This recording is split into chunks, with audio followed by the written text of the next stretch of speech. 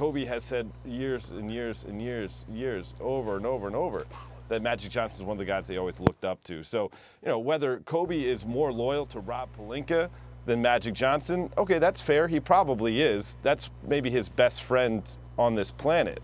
And we know that Rob Pelinka and Magic Johnson had a bit of a power struggle. But to suggest that that carries over to Kobe and he's trying to pit himself against a fellow Laker legend, I think is misguided. All right, thanks so much, Dave McMenamin, for joining us and giving us that perspective on the Lakers.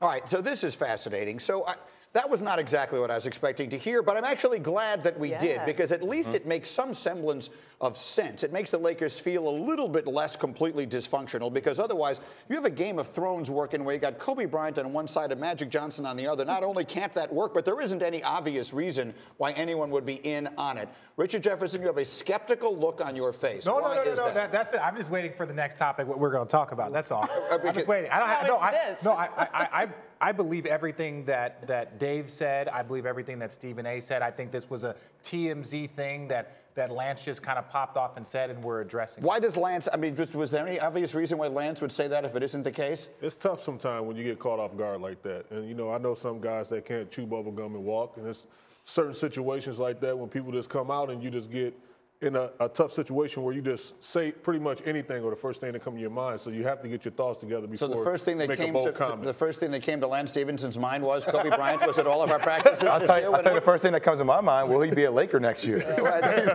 Okay. Bye bye. But that isn't that isn't really what we wanted to talk about here because we can describe we can we can get into all. At the end of the day, I I think McMenamin just did a really good job of, of, of making this what it is. There's clearly a power struggle between Magic Johnson and Rob Pelinka. Mm-hmm. Kobe is very close to Pelinka, and so he is sort of set up as being on that side. Maybe there isn't a cold war between those two Laker icons.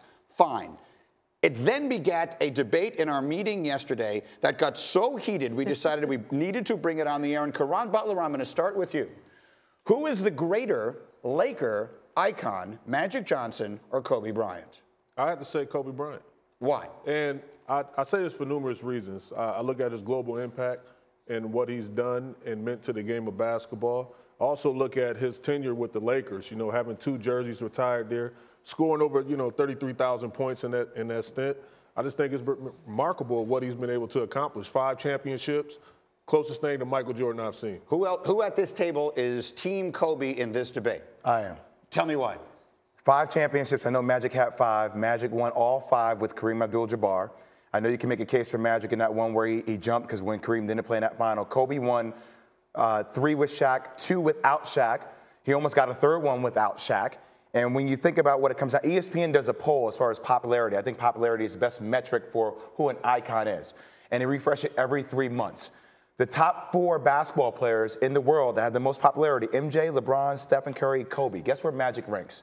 24th. Oh, so you're talking about all the current day players, like, uh, like, and, and then Michael Jordan, who said is iconic. the Isn't, big guy? isn't, isn't, you said iconic. Uh, okay, guys. Isn't that what iconic guys, let's, means? Let, let's, well, Go, okay, RJ. then, an- then answer me a couple of questions, right? Kobe Bryant, all-time great. Kobe fans don't go crazy. Kobe Bryant, all-time great.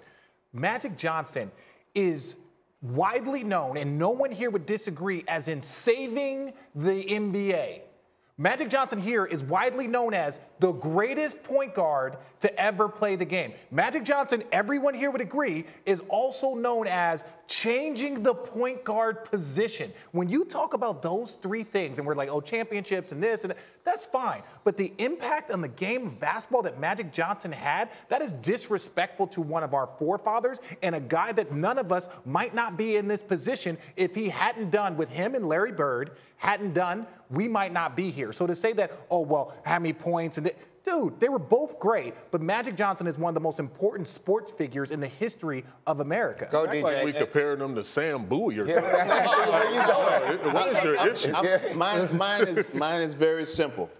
You went from Dr. J to Magic and Bird, okay?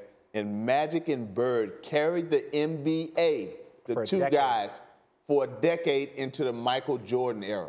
Can Eight we can, can we NBA say can we say Kobe Bryant took the NBA from one point to another? As No. great as he was, I, I can't say that, but I can say who's the most iconic figure ever to play basketball? Michael, Michael Jordan. Michael Who's the closest thing you've ever seen to Michael Jordan?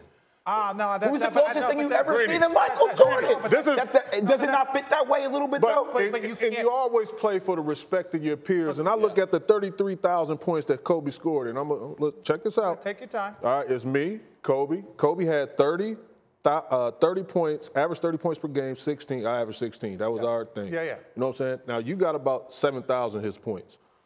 he averaged like 28 against you, you averaged six. Richard Jefferson, he averaged 24, 24 against you, you averaged 12. Okay. RJ, same thing, 28, 10 points. Yeah. And y'all didn't get none of that work. No, no, but here- here's, here's the part. Go ahead. Man, how many times did he beat So me? you I play don't care for the respect that. of your peers. How many times did and he your win? peers up here I understand saying what you're this. saying about Look, see- Magic. See, but the only thing I'm saying is not that his his greatness. He is all time. He is. He is. But again, we're talking about the best point guard of all time and probably the second best two guard. We're talking. You're Yes, saying yes, second best two guard. yeah. So, but my only thing is we're going to talk about who has changed the NBA, carried it. The NBA was having tape delayed Yeah. NBA finals, and now here we are talking about it 24 hours a day, and it's one of the most watched things in America. That would not have happened if it wasn't for Magic and Larry Bird that started off in the NCAA. Kobe is great, and unfortunately, we have to hold it against them that all he did was continue to carry the Why do you keep saying Magic Johnson is the greatest point guard of all time? It's not LeBron James? LeBron No, James is not a no, souped up version no, of Magic? No. Really? not- LeBron's like, not a souped up version James of Magic? not- LeBron James is the greatest small forward to ever play the game. Greatest Magic, small Magic. LeBron James is a point guard, bro. Can, can we just sort of make sure that we're framing this the right way? If we're talking about all-time historical impact on the sport, it is, and, and this is not having to do with his Laker time, but Magic Johnson also played in and won the most famous and significant college basketball game that completely revolutionized the way March Madness. He created March Madness. He was on the Dream Team, and he and Larry Bird ca- ushered the NBA into an entirely new era.